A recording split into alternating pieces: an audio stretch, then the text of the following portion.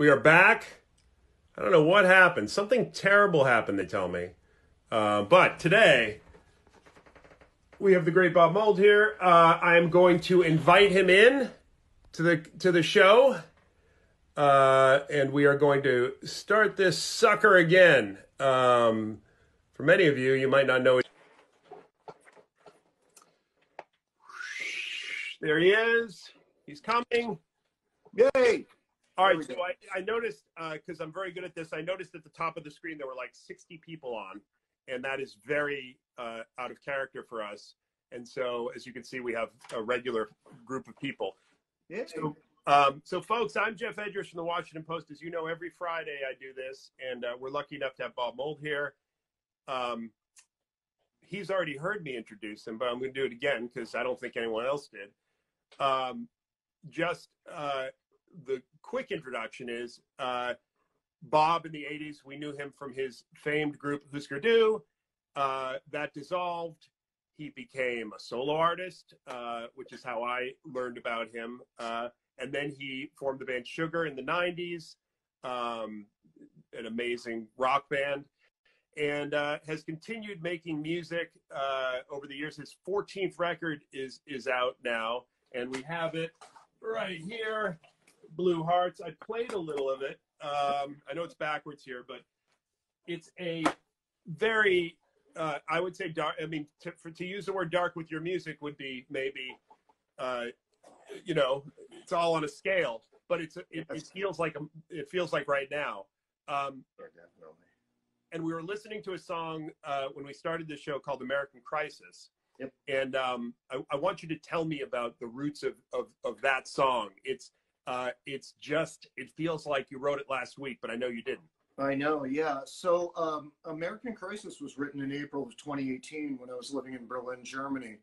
And it's one of those songs where I just started writing, and five minutes later I looked down and I had all these words, and I was like, oh, that's good enough. um, you know, ostensibly it was written to be on the previous album, Sunshine Rock, that came out in the middle of last year. Uh, the two albums before Sunshine Rock were both really dark. I lost my dad and wrote about that. I lost my mom and wrote about that. So I moved to Berlin and said, I'm going to make a happy record. Sunshine Rock. I write the song American Crisis. It doesn't really fit. So I put it in my back pocket. And uh, it sat there smoldering, smoldering. 2019 Sunshine Rock touring, lots of lots of shows, lots of playing guitar, going around the world and around a year ago, I started to get this feeling of deja vu that we can dig in a little bit deeper about how the third year of Trump was feeling a lot like the third year of Reagan. And the song American Crisis speaks about what the 1980s were like to me. You know, yeah. as, a young, as a young gay man, you know, certain of my sexuality, very unclear of my sexual identity, not sure where I fit, if there was a community, and how to get into it. So anyway, so this song, uh, we revisited the song for what became Blue Hearts. We recorded the album in February. It was done and dusted by March 1st. We started putting the, you know, the, the campaign in place for the record. And in mid-April, we chose American Crisis to be the first track. Made a lyric video for it with a little bit of performance, and it was supposed to be dropped on June 1st. It was just a Monday and uh, you know, my publicist said to me, "Oh my gosh, they're going to re-announce Record Store Day on June 1st. We're going to get overwhelmed. Why don't we move it to June 3rd, the Wednesday?" And I thought, "Yeah, whatever, two days, no problem." and of course, June 1st was the Bible Walk, right? Mm-hmm. and and I'm just, you know, and this is after you know Breonna Taylor and after George Floyd, and then we get the Bible Walk, and I'm like, "You can't write this stuff. Like, what am I supposed to do with this now?"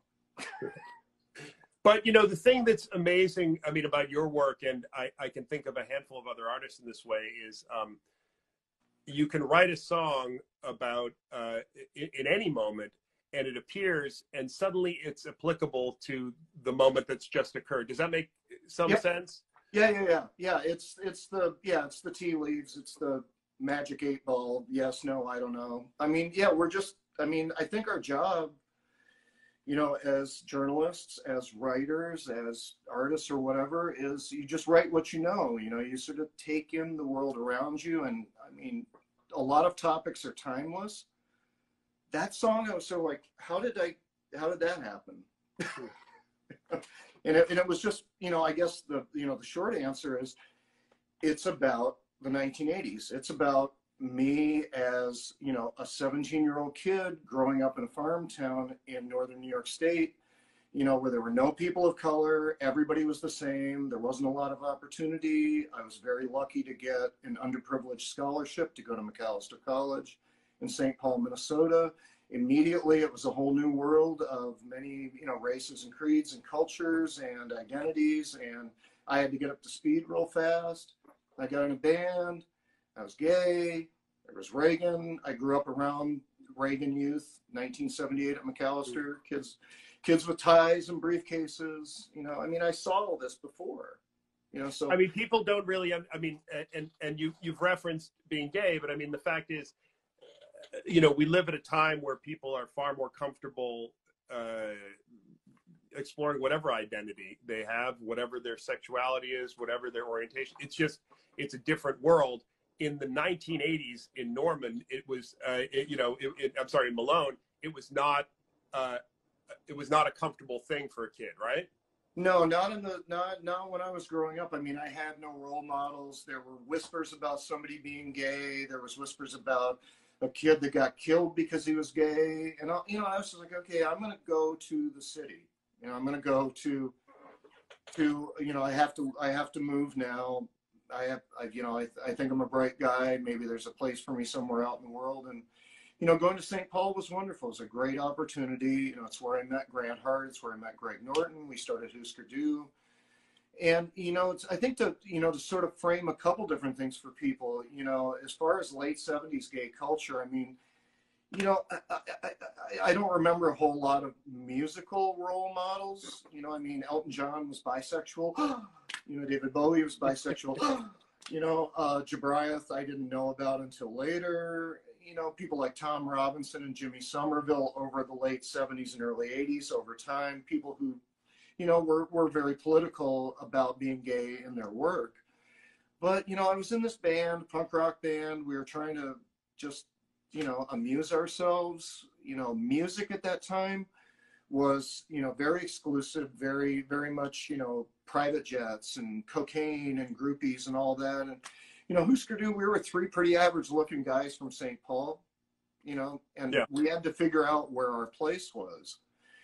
And, you know, we spent a number of years befriending other bands when they would come on tour, you know, bands like the Dead Kennedys or Black Flag or DOA you know, and, and we would become friends with them and they helped us out in the early 80s. And we went out and we became, you know, part of this community of alternative music and underground musicians. And we were sort of building this world of our own because there was no place for us in that exclusive jet setting cocaine world.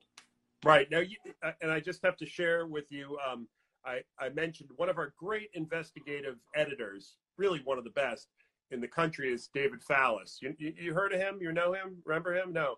He was in a band called No Direction in Oklahoma, and he actually took oh my gosh. of you. And this is a photo he took of you uh, in 1982, I guess.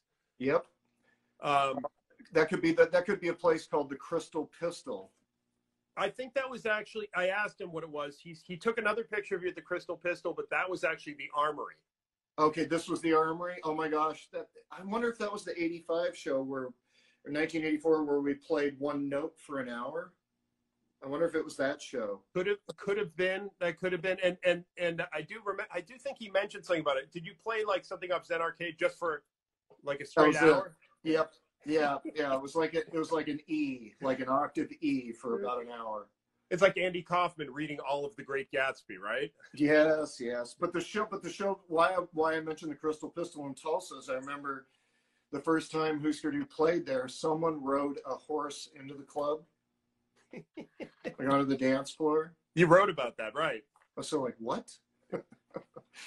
but but yeah, but I mean, so you know, so I mean, in the late '70s, early '80s, that's what music looked like to me and in the early 80s as you know as a gay kid certain that i was attracted to other men but not feeling connected to any kind of community or having any kind of role models.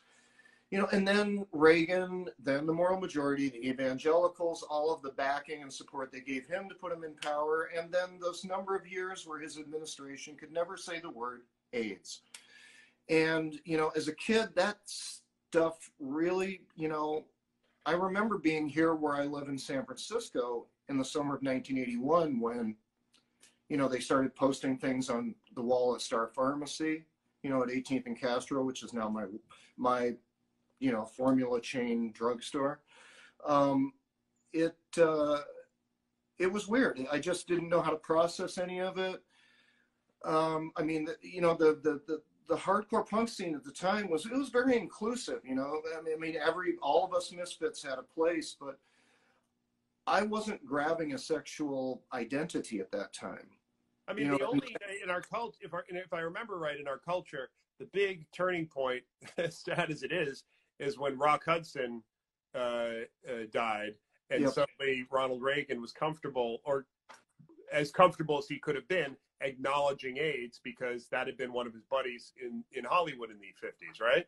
Yeah, so so yeah, so it took until so it took all that time until it actually came home to him for him to recognize the severity of this. Which is 19 I mean that's 1985 and then Bob you also um, and I just want to recommend to people because I'm in the plugging mood.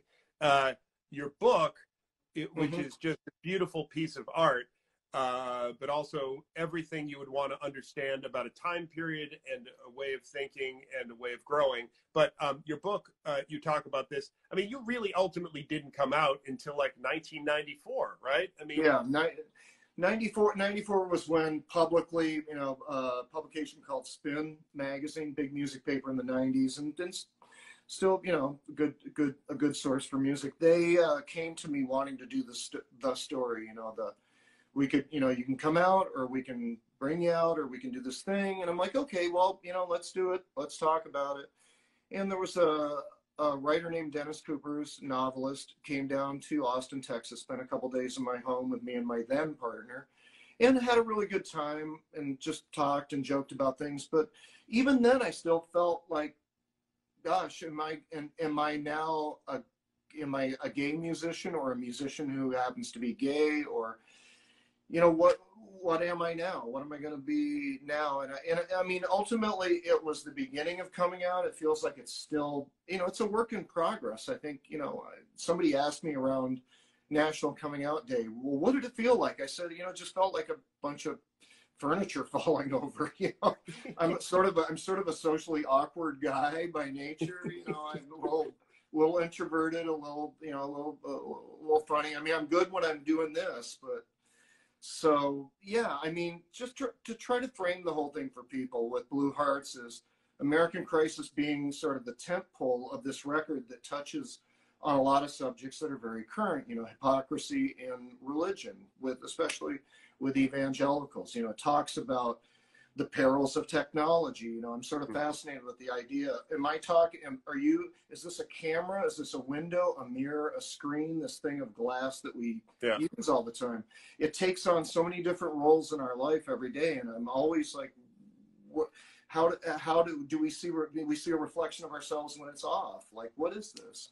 You do you, do you use? You've never done Instagram Live. Are there things? I have sometimes people will say like, I won't do Zoom or I won't do Instagram or I won't, you know, but I'll do this. They have yeah. What is your what is your uh, thought on all this? Because I feel like we're being watched all the time anyway, right? I feel like we're being watched all the time anyway. So I don't do Zoom because I heard all kinds of weird things early on about it, like people sort of bum rushing a conference call or where's the data really going. I mean, I, you know, I guess as an old guy, I sort of figured out on the internet like all those surveys at the beginning. You know, like tell us all about yourself and you'll win a free prize you know like well you had a very uh, there's a hilarious uh, hilarious looking back at it but i mean you talk about in the early days of like basically meeting people online for relationships uh, to meet them and uh, going out uh, driving like I, I, don't know how far you drove but to meet this fellow who you thought oh, yeah. seemed like a, a, nice enough guy he and was. you get out there and uh, you know he had kept canceling on you because his first his grandmother died Uh, all kinds of stuff. his car and- broke down, and then you get out there, and he's there. First of all, he looks nothing like on the on the computer, right? And No. then you go to his house, and his grandmother's there. And he's like, "Oh, that was my aunt," right? Yeah. it's wonderful. The the early internet was amazing, right? Really crazy stuff. And and yeah, and we all get ourselves into, you know, various levels of peril on it. But um but yeah, so you know, the record talks about technology, it talks about relationships. I mean, it's a broad based record, but you know, the hot spots on the record are definitely, you know, accidentally timely things, I guess, you know, with politics and you know, the sort of the the the grave state of things right this moment. I mean, what'd you think of last night? Did you do Uh, yeah, I thought it was it was hard to get a beat on because I watched the first debate with uh, our son is uh, our youngest is ten, and I watched it, the first one with him for a while, and it was like such a train wreck that I was I was trying to explain to him not to almost like not to pay attention, and then like okay, time for bed. And last night just felt a little sleepy, you know. But then I was like, maybe that's what it should be, right? The Yeah. problem that I find, and uh, you know, the problem is that in the olden days, like I don't know, four years ago, um, our country would argue, but it would argue about uh, facts. They would have opinions on facts. Now the problem is we really argue about what the facts are, and it's very hard to understand what makes a fact anymore. Because Mhm. sometimes, um, you know, just repeating something over and over again uh, it, it sinks in and people start to believe it's true. So you're sitting there and, you know, you can't trust any numbers anymore, right? Yeah. Um, you can't really be sure of what people's opinions were in the past. So you have to figure out a third process of deciding who you, you know, who you, who you support. I mean, I Yeah. just, I don't really like, uh, I'm the national arts reporter. I don't, I don't like being political. I feel like my job is not to be political and everybody has an opinion. But Mhm. um, I do feel like I've never seen things so completely broken and dysfunctional between the two sides. Yeah, it's it's really it's really disheartening. You know, I uh, you know in 2016 I moved from San Francisco to Berlin, Germany, and spent you know three three and a half years living there, and it was a it was an amazing experience, and it was just the little things that would happen throughout the course of the three years. You know, like like sort of registering with the government you know getting my getting my residence visa and having to do paperwork down at city hall. And you know i was working on the paperwork with a friend of mine and there was a question and i was like what well what's this question? They're like are you religious? And i and they're like be sure to put no on that. And i said i said well i i, I said i'm not particularly religious at the moment but why why would i put no they're like because if you put yes then they they ask for an extra tax Huh. and what happens is is they collect sort of the tithe and then they distribute it to the various religions in Boy, germany that is, I mean, who even thought of that, right? uh, well it's a good it's a good way to keep it all legitimate Right, right. It is a good way to. But So, you, you know, it would, you know, it would be stuff like that, or even like going to get like health insurance, which was mandatory. And because I wasn't able to work because I was there as an artist, I had to buy my own insurance, and I had to buy like the premium coverage. yeah. It's one third of what I pay here. Huh. And people who are in the national system, it's maybe one tenth of what we pay here. So that's what happens when everybody actually has to have health insurance Hmm. and buy Well, you, you, you move. Um, I mean, uh, it's like when I read that book uh, and just consider your life. It feels like you're always moving. Right? Yes. Yeah, pretty much.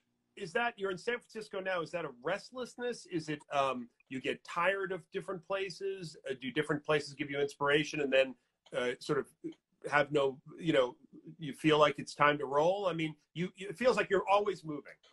Yeah, I mean it's it's it's the luxury of being self-employed and and being in a business where I can live out of a suitcase or live you know ha- live with very you know very minimal means and objects around me. Um, I mean ultimately it's just the, it's the beauty of new experiences for me. You know, San Francisco, I've been here on and off now 10 years, which is the longest, I think. You know, DC, I was in for seven years before that.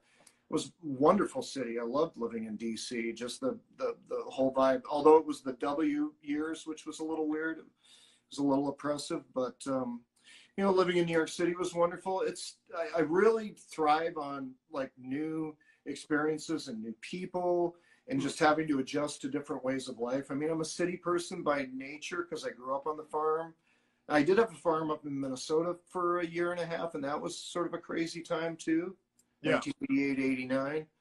But um, yeah, I think it's just it's the the the it's a it's a it's one of the one of the great luxuries that I have is just being able to pick up and it's like, oh, I wonder what it would be like to live in the desert. I wonder what it'd be like to live in you know a country where I don't speak the language, like Germany, and throw myself into their into their world and just you learn a lot of new things that way.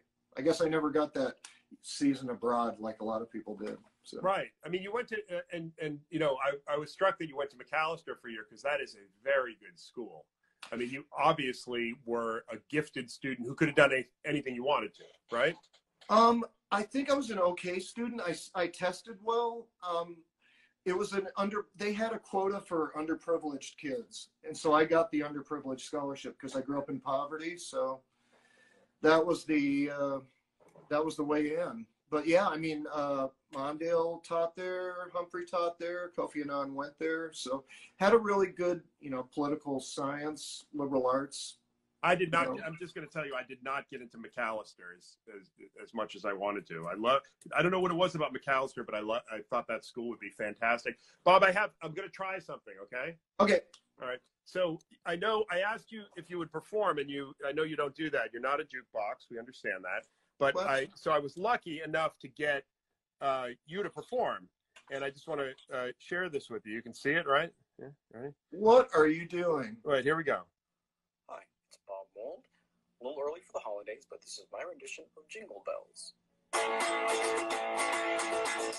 Wow, jingle bells, jingle bells, jingle all the way. Oh, what fun it is to ride in a one-horse open sleigh. Jingle bells, jingle bells, jingle all the way. Hey, oh, what fun it is to ride in a one-horse open sleigh. In a one-horse. Ha, ha. Ha, ha. Oh my gosh. That's your good. That's your good buddy Fred Armisen, who. Uh, What? Yeah, that's who he is. Look, he's he actually. sent Wait, wait, wait a minute. Oh my god, I thought I thought that was Steve Schmidt. He sent me that picture um uh, yesterday because he was uh, he wanted you to know that he is um Fred Armisen, who is the great uh, comedian, but also is is an excellent musician. He was in um. Where are you going? You going somewhere? Yeah. Yeah, I'm going over here. I'm gonna Um, surprise he was uh, Fred is in a hotel in Vancouver, and uh, I told him you were going to be on here, and he's and he sent me that. He sent me that clip, oh which gosh, I think is. that's that's so sweet of him to do. Thank you, Fred. And he's also um, he said he wanted to show you that picture because he said he's shaving the the bob beard today. Oh my god, that's amazing. That's pretty crazy. Uh, let's see. Are you gonna? Are you, you picked up a guitar there? Is that what you did? Hey, I, I I I faked you out, didn't I? Bob, Yeah, would you, you, it's you, a- you'll play something for us? it's a whole new- kind it's a whole- awesome. It's a whole new set. It's a whole new set. I like it, and I'm gonna uh, I'm gonna hold this up while you play a little bit. Okay, what are you gonna play for us? Can, I, can do you take requests? Um, well, I was gonna, I was gonna show, I was gonna show. It's like a sort of a.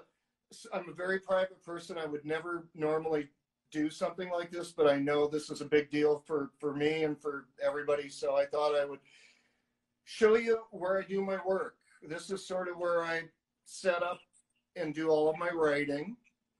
It's uh, it's my little, uh, it's my little, uh, my little uh, rural getaway in the middle of San Francisco, and um, I don't know. So, I mean, we were talking when you mentioned songwriting before. I was, you know, sort of talk about that a little bit, just in the terms of like people say, well, what, how do you write a song? Like, I've got friends that are like, I want to be a songwriter. How do I write songs? Like, everything I write is so, it's just like, uh, you have to write what you know. You have to sort of, you know, just call on your experiences. And for me as a songwriter, how I look at this process, and I try to explain this to people, is I'm the guy with the bucket. And when it starts to rain, I go outside and I catch the water. And when the bucket is full, I bring the bucket back in and I set it down. And I'm not sure what I'm going to do with it. I might drink it. I might wash my car with it. I might water some plants with it. But the thing about writing is you just have to, when it starts to rain, you got to get out and you have to, ca- you catch the moments, right? Hmm. And you hold on to them. And then later on, you figure it out. It's like songwriting is this multi step process you know i mean you're you you write right and when you're just writing you don't you don't like oh i got to stop and edit that Well, I think that the problem is that um, the biggest barrier for me as a writer is lowering my standards and accepting that sometimes I write badly. And if I can do that, then I can soldier through it and I don't sit there going, oh, I've got writer's block. I don't believe there's writer's block. There's just bad writing. they're they're or yeah and and or or not applying oneself to the craft on a regular basis because if you don't have the tools how can you do your work so you got to have your stuff handy all the time but anyways so i was going to show people um, there's a song on the record called forecast of rain and like a lot of times when i'm writing at home i do these things with uh, where i'm using like sort of drum machines and you know, fake strings and stuff. So, I, you know, I'll have a song and it'll have parts in it that, you know, you're like, oh.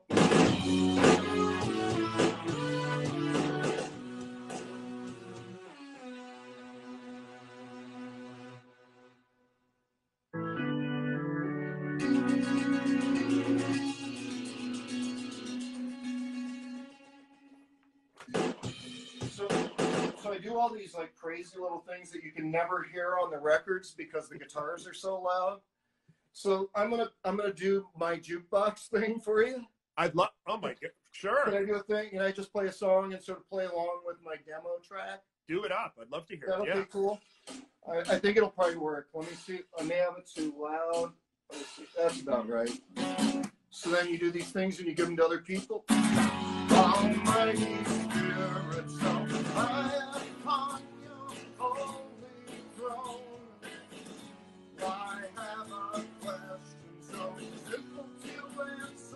won't take long. Is love thy neighbor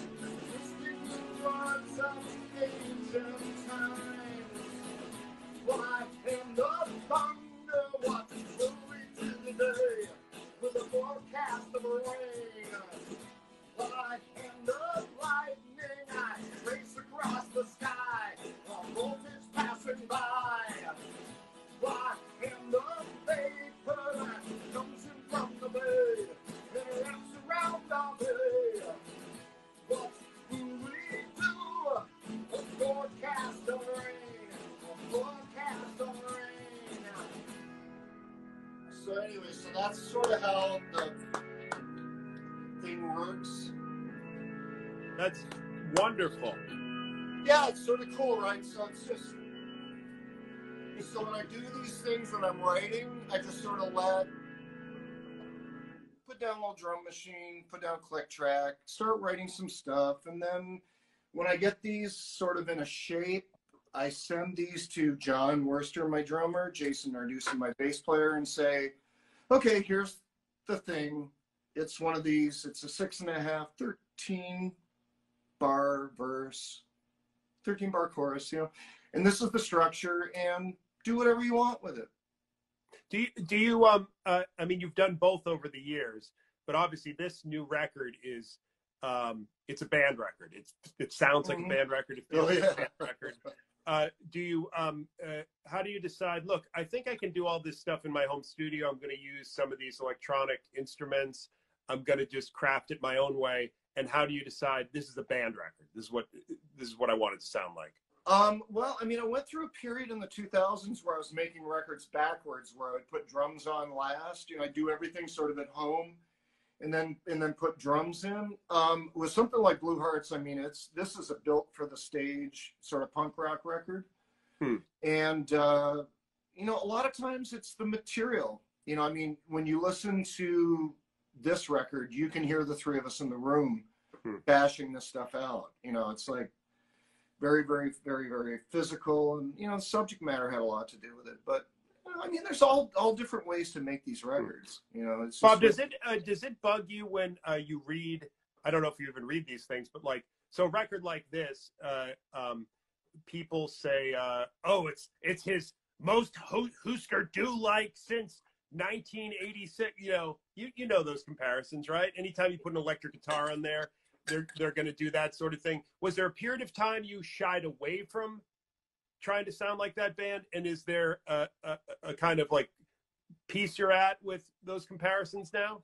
Yeah. Um, well, I think the biggest break was 1988 when I left Husker Du, and that was, you know, I mean, the band was going to end. It was just a matter of who said I'm out first, and I sort of said, "Oh, I'll leave." And for the year and a half following that, between leaving Husker Du and releasing Workbook, my first solo album, was a real, uh, yeah, real conscious effort not to be that guy. Like, why would I leave a band as well known and revered as Husker Du was, just to have a, you know, have a have another record that sounds just like it? What'd you just grab? This, so it's this it's this set. I want to talk about this because Ah, that's where Bob, it I- starts. it's kind of amazing. I don't really um. So I'll just tell you. I mean, I'm 49, and uh, I was too young to go see Husker Du play. I mean, I guess I could have Mhm. snuck in, but I was just some kid in the suburbs. So um, uh, for me, the entry point to you was in the olden days. I don't know if kids realize this, but you would read Rolling Stone, and you'd be like, "Oh my God, they said that's four stars," and I'd say, "I got to get that." And I got this book, this this album, Workbook, which it's very hard to see. The real cover is Uh-huh. This sort of Joseph Cornell light box, which is quite beautiful. But I remember putting this record on, and it was one of the most beautiful records I'd ever heard because um, you opened it up with like a finger picking song, Sunspots, and you had songs that uh, really went from melancholic, acoustic to dark, and I hadn't heard things like that in my life. And this is just so people know, this just came out. I think it came out today. This is the first vinyl version uh, of this new retrospective, which I mean, this is like you couldn't find something better. Uh, goes from Workbook to Black Sheets of Rain, your two first solo records. It's got Mhm. all the sugar records on there, and then some B sides, and so uh, uh, it's just beautiful. So Yeah. you And wait, did you pick that sucker up? The blue guitar, right? There it is. It's it stays at home now. Look at that. Somebody dropped it. That big Oh. chunk. Somebody can't- you can't dropped it. Somebody right? dropped it again. There's a big split in the seam there. Uh, fretboard's completely destroyed. But you don't. But you don't change these things, right? So You still use that guitar, right? only at home. Yeah, that's. Oh, I mean, you went. I, I just am curious if you could just explain to people. You go from being in this like you know punk rock band that is just the definition of thrashing and also melodic. I mean, let's be fair, but you go into this farmhouse in Minnesota and reinvent yourself. What what is going on there? Tell me how you do that. Well, it was it was just sort of den- denying my own natural language as a musician. You know, I started working a lot with keyboards, trying to. I mean, there were like, I've got like hours and hours of like orchestral music that I was trying to write. I mean, I was trying to, you know, I was doing weird stuff like covering Petula Clark "Sign of the Times" with synthesizers. You know, I mean, you know, I was trying. I was making stuff that sounded like, I guess, industrial music Hmm. And then I started, and then I started uh, listening to a lot of world music. Uh, I had a friend who worked at Nonesuch, and they sent me boxes of all this, you know, Celtic music, you know, you know, Galax, Virginia, Appalachian bluegrass, and you know, and all these musics with sort of drones and modalities that started to shape the way that I was looking at my writing. I was writing a lot of short stories and poetry. And then the way that I was folding words and music together was completely different than anything I had done before. You know, I would just start improvising on a guitar with words and just reading certain lines. And then all of a sudden I got wishing well. I'm like, oh, well, that happened nice. Hmm. So it was, Well, uh, that, that's the that's the, that's an example of a song that just goes from. Uh, there's something so dark about that song and beautiful. Um, I mean, most of us heard uh, "See a Little Light" was the big was one of your must be your biggest solo hit. Yeah. Um, yeah, I mean that's yeah, the song, the book, the movie. Yeah, it's the title. It's the title that gets repurposed. yeah um it's uh i mean that record really opened it up. And bob you know i have to ask you i, I remember i saw sugar in the early 90s and um i had a backstage pass because i was like at some newspaper at that time. I was very young and um i remember i was with a friend and they were like let's go back. And i can't tell you how first of all i did not. I was i, I watched you on stage and i've got to be honest i was terrified of meeting you. You looked like one of the most uh you it looked like you would bite my head off Good. uh, and and is is I mean I know from reading your book and I know from talking with you you're a sweet person uh, and very introspective. But would that guy have bitten my head off? What, what what goes on when you're on that stage with that guitar? when I'm on the stage with the guitar, I, have, I really have no idea. I mean, there's that there's that thing about minutes before the show, sort of taking my tea, doing my stretching, double knot everything, move your belt over out of the way of your guitar so you don't scratch up the finish.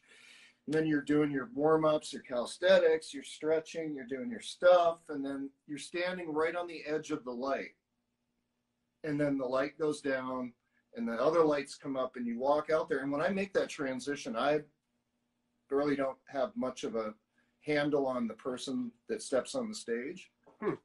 it's pretty it's pretty visceral it's pretty it's pretty amazing i mean i really don't understand it you know I, You've I- given you've you've decided over the I mean at one point I think in '98ish or something you were like I'm not doing any more electric band stuff. You Yep. um I know that you have physically like injured yourself. Uh, you've made yourself sick physically from performance, right? yeah, yeah i've done a lot of a lot of things yeah yelling and screaming and blood busting blood vessels and losing my voice and yeah i mean that that all that kind of stuff yeah What, well, what- what- 1998, what- 1998, what happened was it was about 20 years into my career, and uh, you know, going back to sort of my lack of a true sexual identity. You know, I was I moved back to New York City and was spending a lot of time in the West Village and in Chelsea, which were the gay neighborhoods at that time, and I I really wanted to not just be the rock guitar guy who lives in the van and tours all over the world. As amazing as that is, I was like, you know, I'm almost 40. I sort of want to hang out with the gay guys. I want to go to the gym and start looking better and feeling better and and see if I can, you know, sort of get this identity for myself. And that was the reason I put down the guitar. Bob, I, I, I, I have a. Do you have time for a quiz? Yeah, sure. All right, look, I'm going to show you guys. I'm going to show you a few guys, and I want you to identify them. Okay? Can you do this for me? Uh, Iron Sheik, Okay. Nikolai Volkov. Oh my Yeah. gosh, how's what's it's like? It's it's, it's xeno- xenophobic WWF heels from the early '80s. Captain Lou. That's easy. And then, of course. Uh, Hulk. I know. Oh, Hulk. well, what was that? Don't no. I know, I know, to, For God's sakes, yeah, uh, Bob. I don't me- know if people know. If I had a second, I had a second phone, I'd call him right now. uh, the uh, you know, uh, I, I don't think people realize this, but you were was it a create? You were creative consultant basically, hmm and what was it for the WCW? Yeah, it was a company called WCW. Uh, originally, that was like the National Wrestling Alliance, which was like a worldwide company like WWE is now. You know, back in the through the 20th century, and then they got bought by Ted Turner, became World Championship Wrestling. I had lifelong fan of the business, student of the business. I had friends in the business. And I got a call in September of 99. They asked me and said, Oh, you know, the executive vice president's going on hiatus. Do you want to come in as the creative consultant for the company? I was like, uh, you sure about this? And they said, Yeah, we want we want your opinions, we want your ideas. So I got in, I flew down to Atlanta and very quickly learned everything that I didn't know about professional wrestling, which was a lot, even though I thought I knew a lot. And uh, it's a crazy world it's a crazy world, you know. You you were actually, I mean, you were on steroids for a while, right? I mean, you were like in the world of wrestling, taking steroids, going up to Hulk Hogan and giving him storylines. I, I mean, tried. Just, I mean, your title was consultant, but you were running the show. Um. Yeah. So there's a there's a there's a there's a job. It's called uh, there's a there's a thing in wrestling called the gorilla position and there was a WWF wrestler, Gorilla Monsoon, who was sort of the guy who kept the show running on time. In the in the old days, before wireless earpieces, they used to send somebody down to ringside to fluff their tie, which was like, okay, you guys, two more minutes and you're done. Go to your predetermined finish. But Gorilla in WWE, Vince McMahon sits at Gorilla on the headset, watching the time code, telling the refs to tell the guys, and blah blah blah blah.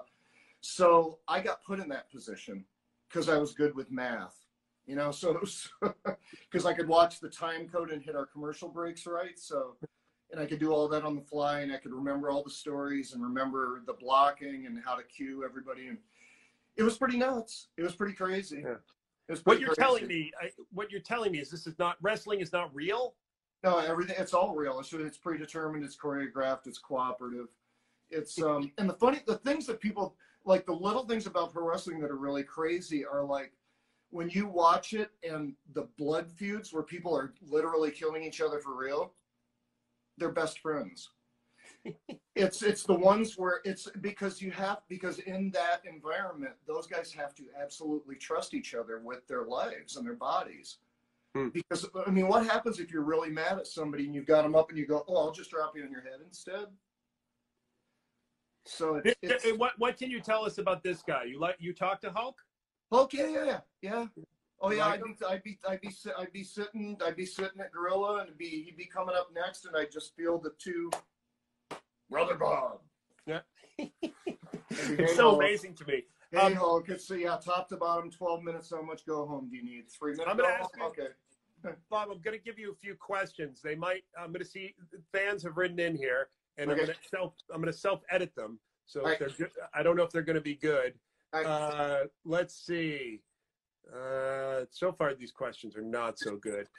Um, they're kind of let's see. Da, da, da. Uh, what what program do you use when you're making your music on the computer? Someone wants to know. I use three different programs. I use digital perform. I use Mark of the Unicorn Digital Performer as my multi-track. I use Propellerhead's Reason as my synth bank and I use Ableton Live for looping and time correcting. So three different packages. Um, okay, someone is asking, uh, this person, Renato, is asking, any chances of you ever releasing a folk album in the vein of workbook?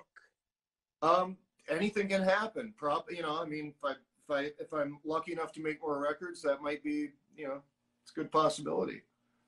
Uh, Bob, with with Husker Du, obviously Grant Hart is no longer alive. Um, you're pretty un, un, unflinchingly don't look back at that band in a way that you wanted. You know, we've seen everybody except for maybe the Kinks go back and, and perform again. Uh, I assume you were offered huge chunks of money over the years to put that band together again, right? There were one or two occasions where people had you know, had, had made nice gestures to try to get the band back together. Yeah. I assume you do not regret at all not doing that, uh, uh, considering how it ended and and what legacy you left there. Yeah, not so not so much the former, but much more the latter. You know, when you a band like Husker Du that was so to me really an amazing band, and so of a period in time, speaking to a period in time and you know so many people think so highly of that band why would anybody in their right mind take a chance in changing that legacy by doing something that looks less than what people remember Yeah, I hear you. It's very rare that a band comes back and and can do it the way that you want them to. You know.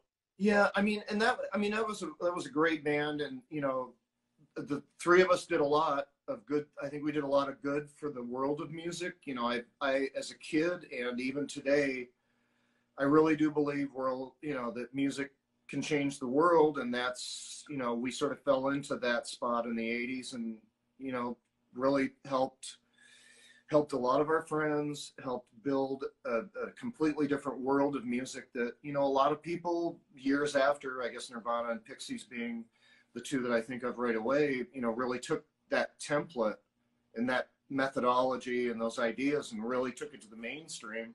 And then it's, you know, it's, it's sort of been a, you know, sort of a pillar of music now. And uh, why, why would I mess with that? I saw um, I, I, saw the David Byrne uh, show, American Utopia, um, last year a couple times. You see that show?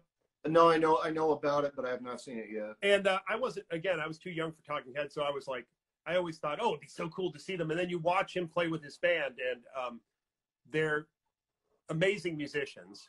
Mm-hmm. And you watch them after the show, and you watch them hanging out, and you realize, and they like each other.